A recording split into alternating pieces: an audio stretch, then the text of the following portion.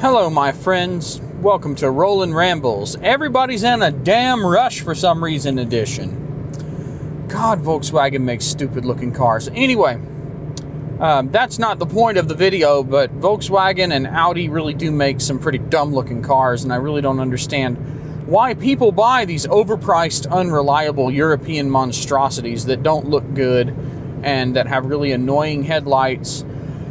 yeah, I just don't get it. Okay.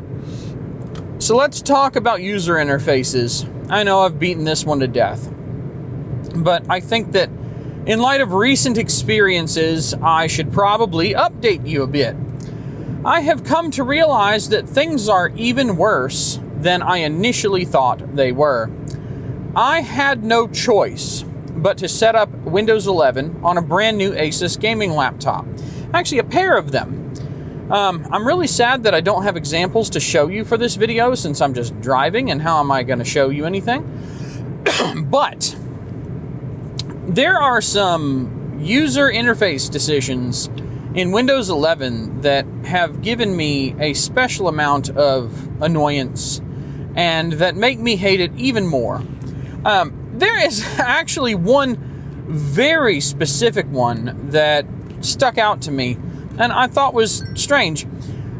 In the control panel, oh, oh, I'm sorry. It's not called the control panel. It's the settings panel. Oh, oh, and by the way, the settings gear is no longer in a standard location. Now it's a movable icon. The stupidest thing that any Android, iOS, any of that did, making the settings icon where you can change everything else, uh, suddenly no longer in the same place all the time oh yeah, it's come to Windows 11. Now, settings could be God knows where anywhere. Now, thank God that the one thing Microsoft has never done wrong when uh, they didn't undo that. The one of the greatest things in Windows 8 and up. Um, no, that is not something I can remote into review, sir. And let's put everything in do not disturb mode. Um, one of the greatest things that came out in Windows 8 was the right click menu on the start button. Which, by the way, stopped saying start in Vista, yet we still call it the start button. and I think it still says start when you hover over it. But thank God they kept that right click menu because if they did not, I would have to go digging for settings or run a search for settings every time I wanted to go to the settings panel. The really garbage settings panel that's missing all sorts of settings. So inside this difficult to find settings panel, unless you already know the magic trick of the right click start menu, um, when you do something, it's been this way for a long time. Um, control panels in Windows, um, I think, well, okay, control panels in Windows some of them have been HTML applications since Windows 98, actually, if I recall correctly. Um, you double click, and instead of opening a separate panel, it might pop into something like I think the network connections are like that. They show up in an Explorer window uh, with the standard back forward navigation stuff still there. Um, you get the idea. So, a, a lot of control panels back in the day were HTML applications that you could go back and forward in as if they were just regular folders, while others bring up a special dialog for that control panel. Um, that, that multimodal method of operation was a little weird, maybe a little forced, but it, it did at least make sense for, say, the network connections control panel. So you open it and you can see all of your network interfaces listed as if they were files of a sort in a network connections folder. Um, it it it honestly was a bit more welcome than previous network connection setup stuff. Um, back long, long ago, uh, you had a special network connection control panel, I think in the Windows 95 98 era, if I recall correctly. You'd have adapters, and then each one of those adapters could be bound to different protocols, and it was really kind of complex. But now you have individual adapters listed, and then their bindings are under a property sheet for them as if they were just special files. It honestly is a better interface. But now um, the settings panel has that stupid network thing where it's really schizophrenic, like some settings seem duplicated, the paths to things are not as clear. they basically threw out a pretty good, you know, network adapters file paradigm in favor of this like more garbage version of HTML application stuff where you, you keep the HTML buttons but you throw away the icon paradigm, you throw away the file paradigm entirely in favor of just hiding everything. Oh, and by the way, if you need to change advanced settings like uh, beyond just IPv4 and v6 addresses, like if you need to put in a bunch of DNS servers or something, guess what? You still have to open the network connections control panel. Yes, the old one that's been around for 20 plus years and go into the properties that way to bring up the old style property sheet and change the settings in there. So what's the point of the new panel if the old panel does the same thing but better? Yeah.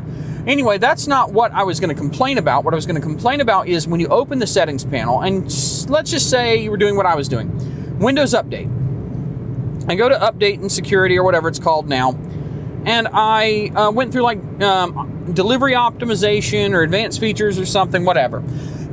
In the top left corner, they have a back button for navigation. Now, one thing I will compliment Microsoft on, they have breadcrumb navigation. So at least if you're giving me a shitty HTML5 um, application for a settings panel instead of a proper settings panel um, that's not made in a stupid way to force the paradigm, at least um, you're doing so with the breadcrumb navigation so I know how I got there and I can go back partially or fully instead of just having a dumb back button that God knows where it'll actually send you if you click it.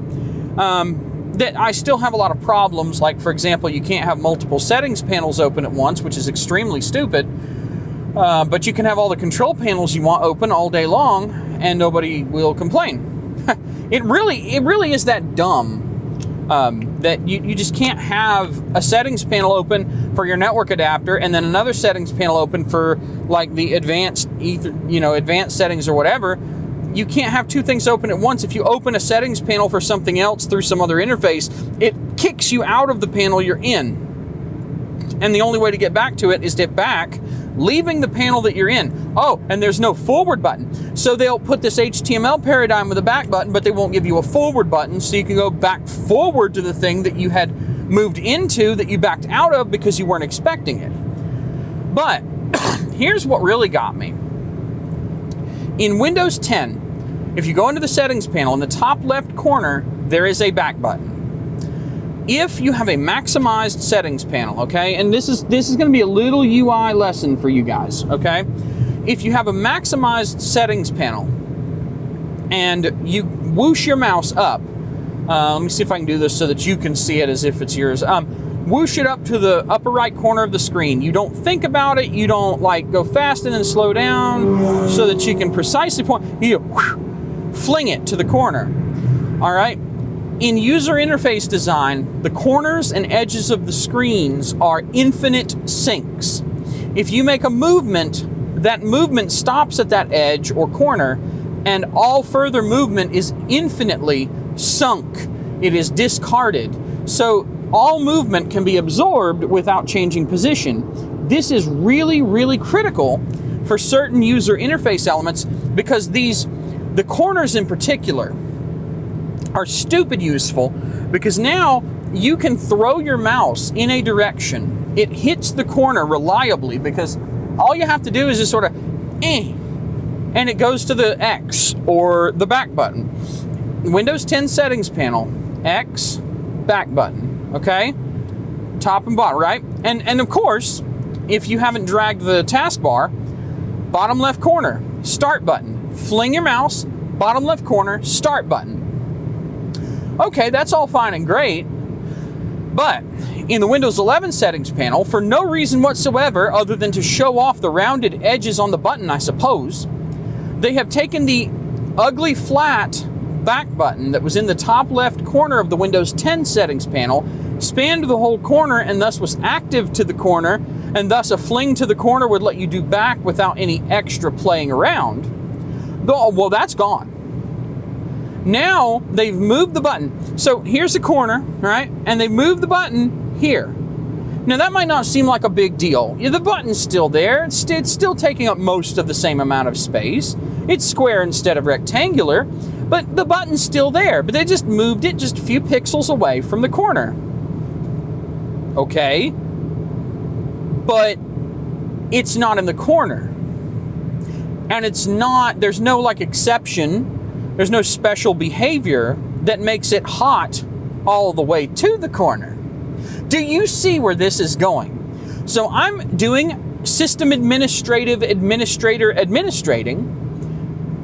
I feel like I just had a technical period. Um, so I'm administrating a system. I'm flicking through control panels using the back button to go back one step. But now I can't click a thing, do a thing, and click back to get back where I was. Now I have to click a thing, do a thing, and I have to carefully move the pointer up to the corner to hit the back button. Fling it to the corner, then gently nudge it carefully to get to the back button. I know this sounds trivial, but the truth is, when you are in the zone working on a problem, the last thing you want to have to do is pause and then really think about, oh, I've got to hit the back button because I missed it.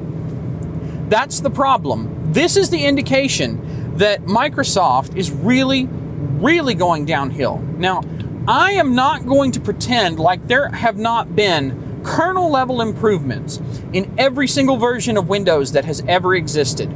I can even give compliments to the Vista kernel. In fact, the Vista kernel, it made so many improvements to things under the hood that it would have been nice to have that in XP and just not have Vista. That, when Vista came out, that's what everyone really wanted. They wanted the, the Vista improvements without actually having Vista. They could have done the. Um, they could have even done the accelerated um, Aero interface stuff without um, without requiring the bloated, crappy Vista interface. it's not the kernel in Windows that ruins things. The truth is, you cannot be a kernel programmer and be incompetent. It, it's not really possible because if you're a kernel programmer and you're incompetent, you can end up causing massive problems for the company. Um, kernel crashes take down entire systems. Uh, and when you have enterprise customers that you might have contracts with, you are giving guarantees that there's a degree of reliability in your software because they need those guarantees so they can guarantee reliability of their systems for their customers and their employees and so on and so forth your, your enterprise customers demand reliability. And now, you know, if you have a crappy kernel programmer and things go wrong, you cannot provide that reliability. Well, you're in a bit of a, a bit of a pickle here now, aren't you? So it's hard to be a kernel programmer and be good, and be bad at your job.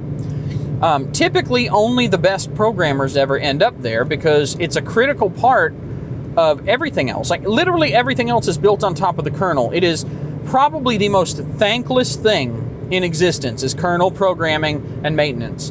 Um, competent kernel programming and maintenance. There's actually more opportunity for stupid to leak into the Linux kernel than in the Windows kernel. because at least Microsoft has a hiring and vetting process. Linux just accepts the changes at face value.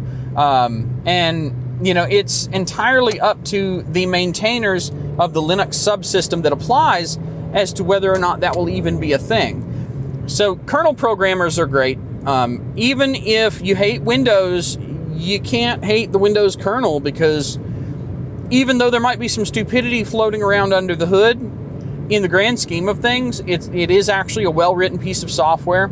If you go look at the old uh, Windows 2000 and XP source code leaks, um, the articles that were written about them, there has they did a lot of code review on the leaked source code for the Windows 2000 and XP kernels and they were you know people were pretty universally impressed with the code quality overall. Like everything seemed very well put together. That's because you can't make a bad kernel without taking down literally everybody else with it. So kernel improvements are great the problem is that you can't slap the windows 11 kernel underneath the windows 7 8 or 10 interfaces and you know user space so you have to take it as a package deal. You have to take, if you want the Windows 11 kernel improvements, you have to take all the garbage that they've done to everything else along with it. And that's what I'm not really willing to accept for myself. But these people had brand new gaming laptops that I told them to get. I recommended them, and they had USB 4, and I had to put Windows 11 on it. And when you're in there and you're doing all these tweaks that you do all the time on 10, and you're on 11, and yes, the system is a little different, but for the most part, I have figured out where most things are so I can still whiz through them pretty well. But today was the first time I really noticed this stupid back button. And it, it's just like one thing that drove me truly nuts. Because this this is if you're going in there and you're let's say let's say you want to test your sound card. You know, you just want to play a test sound. Okay, ding a ding, ding a ding, whatever. Big deal. You go into settings, you find the test thing, you close settings. Whoop de doo. Maybe you go back and you adjust the volume. I don't know. but let's say that that's not what you're doing. Let's say you're like me and you're going through and adjusting privacy settings and you're going through and adjusting. Um, I change the color mode, the window dressing colors, disable all the window spotlight crap, set a nice boring standard offline wallpaper, a nice boring standard offline lock screen. So I'm going back and forth between all these panels to get this system customized and tuned up. And that means that every time I want to go back to the settings panel um, and or back to personalization and go into a different sub panel, I have to hit back. Well, when I go to hit back, I miss it because now, unlike Windows 10, it's gone. It, it's not in the corner. It's a few pixels away from the corner. And one time is one thing, but when you're sitting there and every time you get done flicking a whole page full of settings, and you go, oh, I'm going to go back and then go into this other one, and you miss. And you go, okay, carefully click, other one, page full of settings. oh, I missed again. And it just, after it happens a few times, you start getting pretty pissed off that the skill set you've already acquired is no longer applicable. And not because the offset button is better. There is nothing better. It is objectively a worse interface. It's just because some guy in design or whatever had to justify his job. Oh, well, now everything has rounded elements. So let's pull this button off and show that we're no longer doing the completely flat design thing anymore and that we've got rounded rounded corners on everything. And I guarantee you that's exactly what they did. They looked at it and they said, "This needs to show off our new design paradigm." I would rather you have left the ugly, stupid, flat, colorless, borderless, no indication whatsoever that you can actually click it back arrow that goes all the way up into the corner so that it is a hot corner. That would have been a thousand times better than you showing me your stupid design. I don't care. I don't care that you think you've made the user interface look good. I don't care how much work you put into it. You could have put 10,000 man hours into rounding off every sharp corner that I might bleed out and die as a result of. You could have spent 10,000 hours unflattening all the stupid flat design that you've shoved down our throats for 10 years straight and I would not care in the slightest because in the end, what you have done is given me something that you think is a little prettier, but is objectively a far worse, more workflow damaging design. And it's not just the back button, it's all over the place. Everything in Windows 11 works against you. It's kind of like when Windows 8 came out. That stupid charm bar that you have to go to one of the two hot corners on the right and wait for a delay for it to pop out and then if it pops out and you happen to move outside of the column, which if you do a quick movement, you probably will. But if you move outside of the column in the slightest, it goes away and you have to reactivate the hot corner again. That was Windows 8. Now you would think by now, with the mess that was Vista and the friggin' AOL kids looking disaster that was Windows 8, that was so embarrassing that they actually had to go in and make boot to desktop the default again and fix the brain dead tiled start menu, the full screen start menu, so it was just a bit less stupid. Like you would think after all that that they wouldn't do something this ridiculous, and yet here we are. Here we go again. You know, Windows 10 was crap, and they decrapified a lot of their worst decisions. Um, and we sort of got used to the fact that the tiles existed, even though they still look gaudy and dumb. Um, and we would still rather have the multi-tier start menu with denser elements back. But no, no, we get the, the, the, the baby toy computer touchscreen tile crap. But in Windows 11, they made everything spaced out like it's supposed to be baby toy touchscreen tile crap. They have to have the all this room around every element so they can put their stupid rounded rectangles or squircles or whatever the hell you want to call them around everything. Like if you click a file, oh, it can't just have a box. You know, it can't just have a little light blue highlight that's just got corners like a normal box. No, we need more room so we can have a nice bold line with a big radius in the corner. That that because that's important. That's what users care about. uh-huh. Sure, sure, sure. But yeah, this one back button element screwing up my workflow so bad. And it's just one element. But it was so bad that I noticed it repeatedly to the point of absolute frustration. It's like, there's no excuse for that, guys. There's no excuse whatsoever. You didn't have to do that. There was no need for you to do that. There was no reason for you to do that. And you need to undo that. And let's go over a few more really absolutely stupid choices. Now, this machine, I had to update it to 23H2 and send it on its way. I haven't actually um, noted the differences between the different Windows 11 feature updates. So I might be getting some things mixed up here. There may be some things that are no longer the case in, in this list because I was working with the um, feature update prior to 23H2, probably 22H2, whatever came out of the box. Um, it had not been updated to 23H2 yet. So, because I'm working with that, um, I'm not sure, but one of the things that really pissed me off is I can't make the taskbar icon small, which I think they took away and will never give back. But more annoyingly, I can't put labels to the right of the taskbar icons when they're open. This is actually an insanely useful feature being able to have the names of the programs and to not have the windows hidden behind a single icon for the program. It is so useful. I can't even begin to explain how useful it is.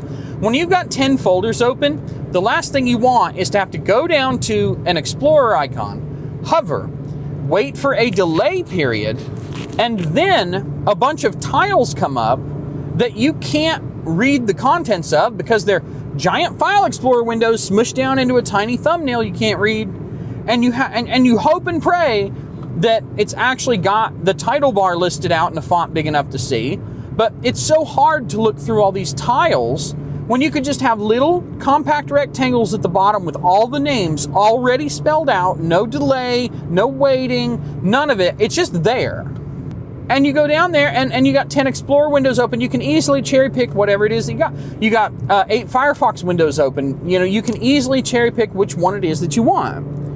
But they took that away. Now everything is always hidden behind an icon. And I know they're supposed to have brought it back, and I didn't check to see whether they did bring it back. But it was so stupid, and nobody wanted that. Nobody wanted to have that choice taken away from them. Nobody. There, if you find somebody who says that they they're like, oh please God, Daddy, Microsoft, please steal my choices away harder, Daddy, then maybe you should take them out back and do the old old yeller in the shed because they are clearly infected with a moron disease and need to be put down. Yeah, nobody asked Microsoft to do that. There are um, there are so many things wrong with Windows 11 that it kills me. The start menu is stupid. I don't want recommendations on my start menu for programs that aren't on my computer. You can take that and shove it up your butt. But more importantly, if I just want to see my, my programs, why is it that you give me these little, little tile like icons? Like, and, and they're somewhat densely packed, not very, but a little densely packed in a vertical orientation, icon title. You give me like three rows of that in, in, in like the pinning area for your new Windows Start menu. But then if I hit all apps, by the way, they're programs, not apps or applications. They are programs. Call them programs. This app thing needs to go. An app is an appetizer. I'm not eating you know, Hulu or YouTube or whatever. I'm, I'm not consuming it.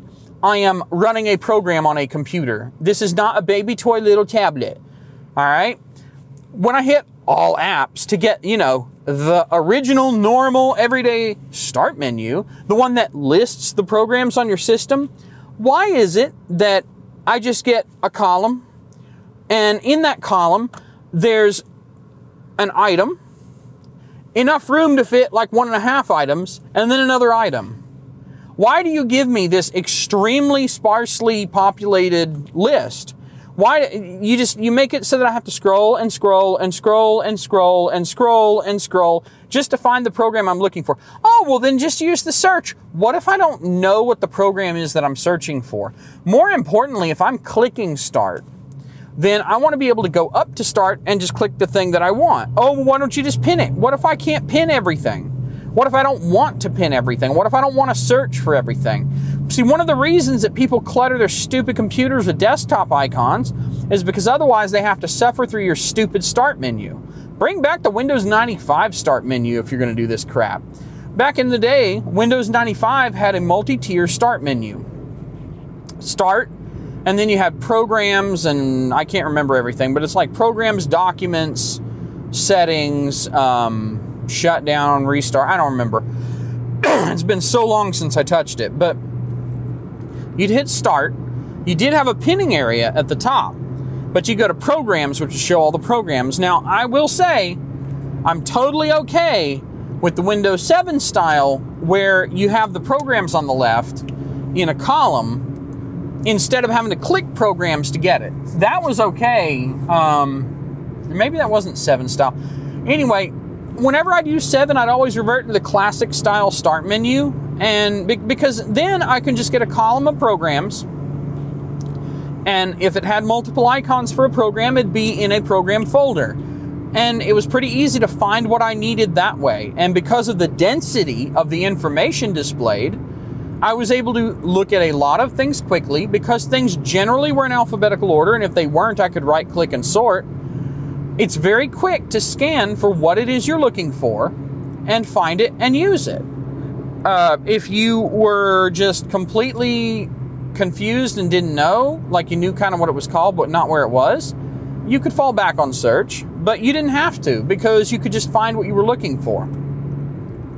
I swear to God, the search paradigm needs to die.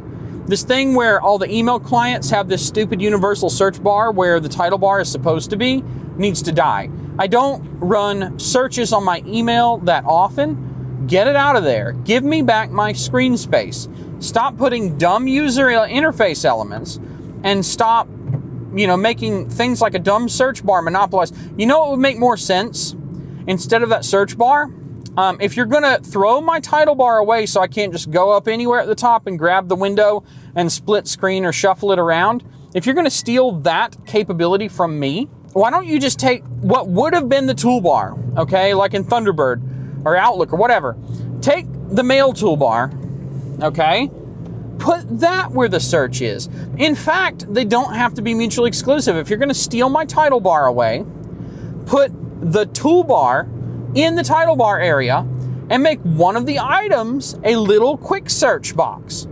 Don't put a gigantic, heavily padded, search box at the top of my mail client that I'm almost never going to use and I don't want. You know, it's just like removing title bars is something that should not happen. It needs to stop happening. And you know, Apple actually had it right. They made title bars that are skinny, that they're not tall, they're skinny.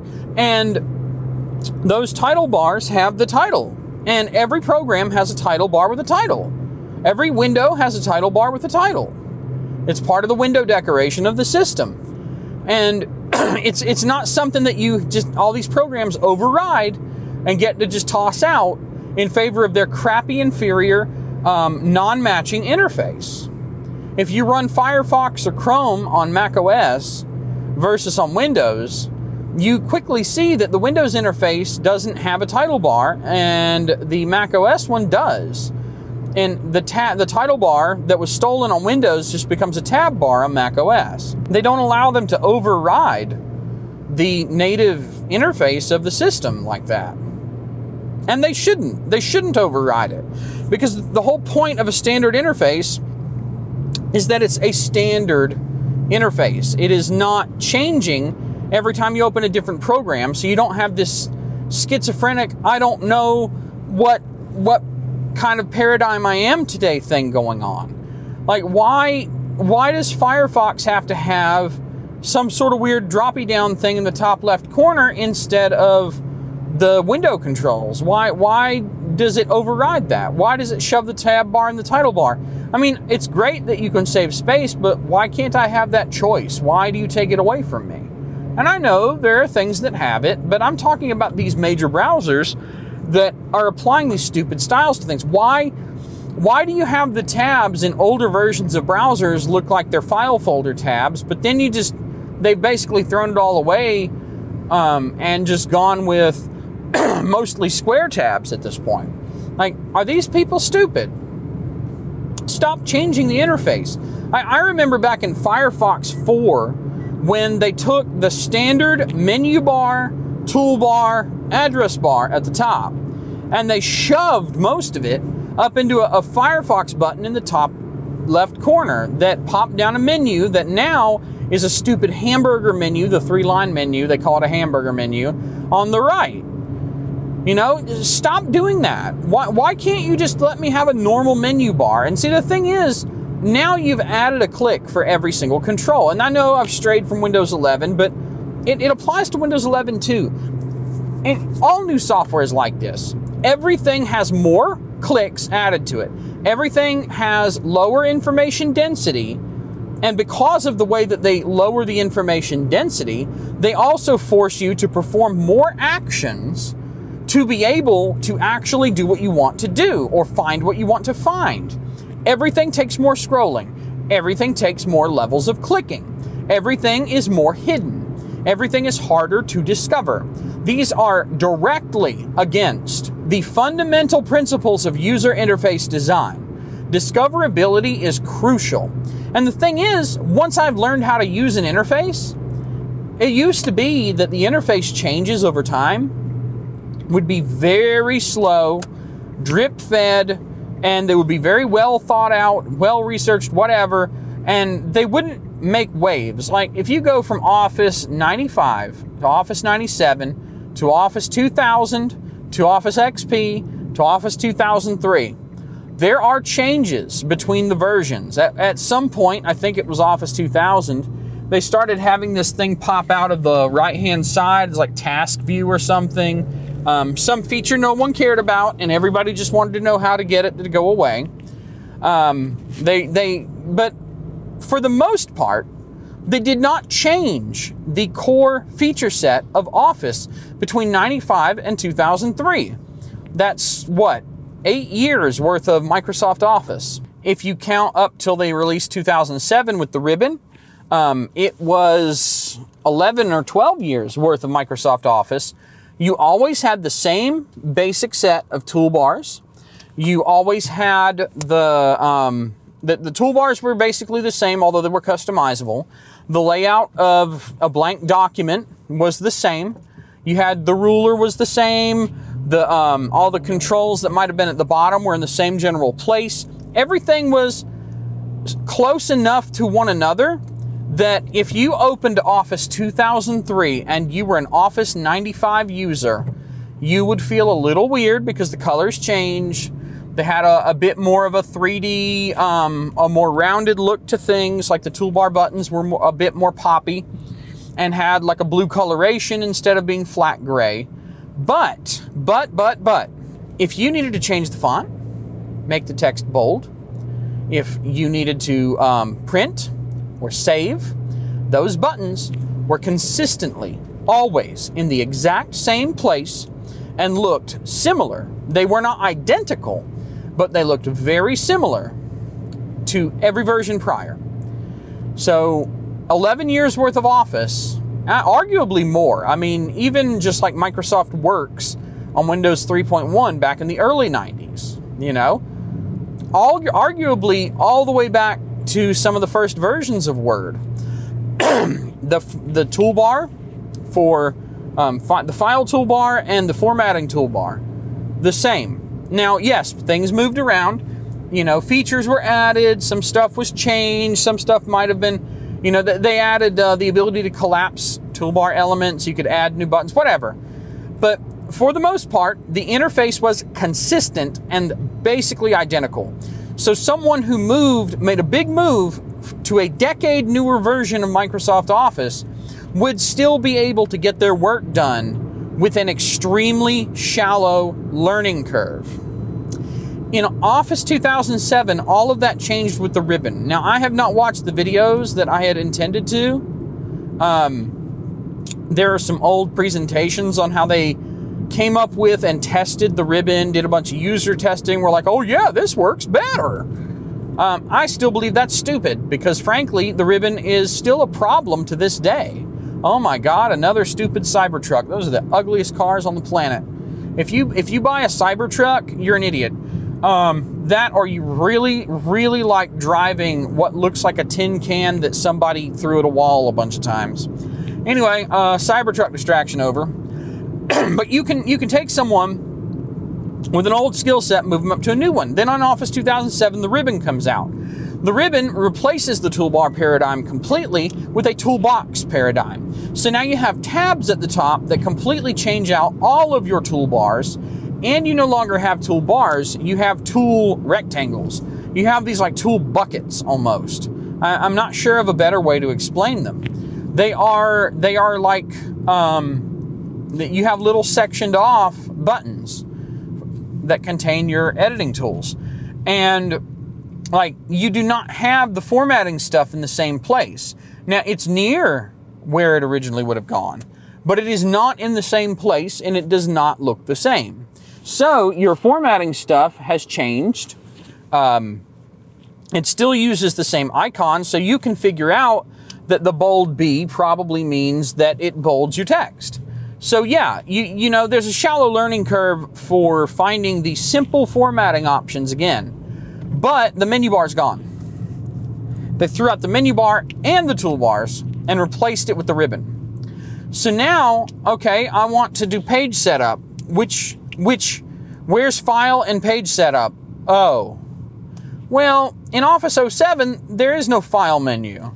They got that dumb orb in the corner, and if I recall correctly, you hit the orb and go down to page setup, which makes no logical sense. Orb is not file. Orb is is orb, and that that's the problem. They completely changed the paradigm, and there was no gradual introduction. There there wasn't even like some sort of tutorial you could run. And, and even if there was, it wouldn't happen if you were using Office on a computer that someone else owned which was a much more common thing back in the early 2000s and mid 2000s, where people couldn't afford computers as much. Like the netbook, you know, the $300 laptop, $300, $400 little portable, um, purse carryable laptop is actually what brought computers for, I want to say everyone, but it's not quite that much into the mainstream. But it wasn't until like 2010 that you could just sort of count on everybody pretty much has a computer at home or access to one. Um, so you, you'd have a lot of shared instances of Office applications and shared hardware. and you would not get a tutorial if you weren't the one who ran Office for the first time. So, how do you know about these changes? Well, you better hope you can either figure it out, which, by the way, discoverability is greatly limited.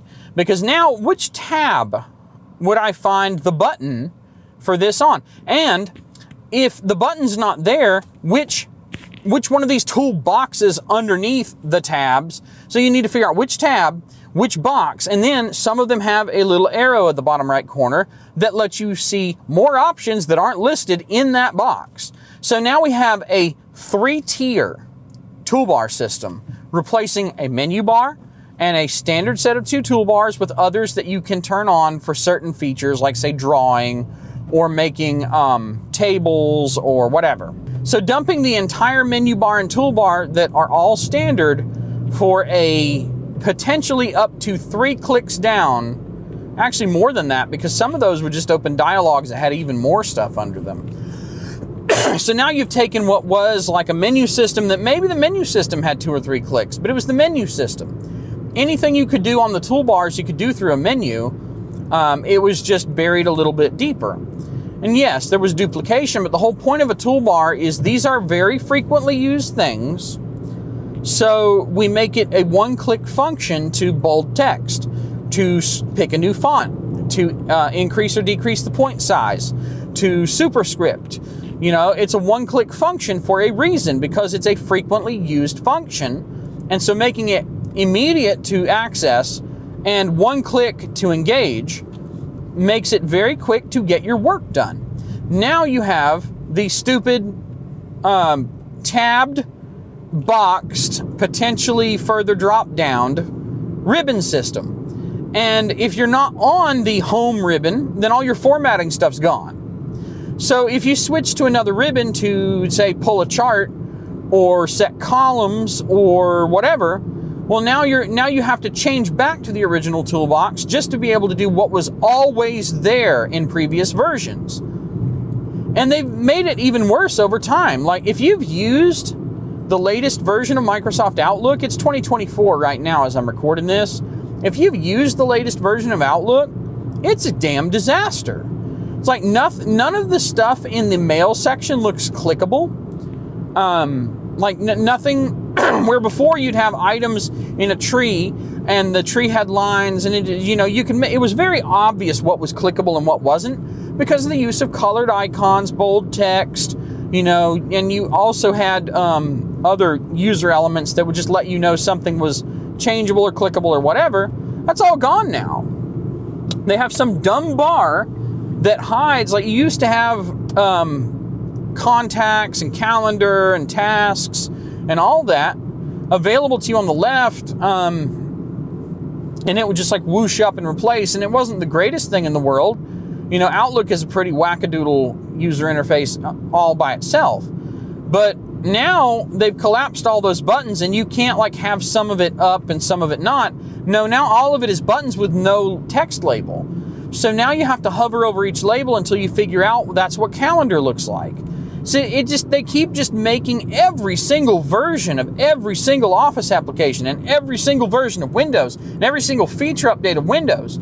They just keep changing things. The learning curve never stops. The learning curve is, is a, a fucking up ramp and it never ever stops. It, it might lower its rate of increase, but the learning curve always points upward, boy. And it, it's absolutely absurd. I cannot stand it. Um, I don't understand how anybody gets anything done. I, I would almost be willing to go back to Windows 95 just because everything made so much more sense, was easier to get shit done. And, and I got to be honest, I just had an XP machine come in today with Excel 97 on it. And I opened an Excel document and I was like, I've seen new machines with SSDs open slower than this. Anyway, like, comment, subscribe, and uh, I'm gonna. I, I need to pull over. Take it easy. So you have. Hang on.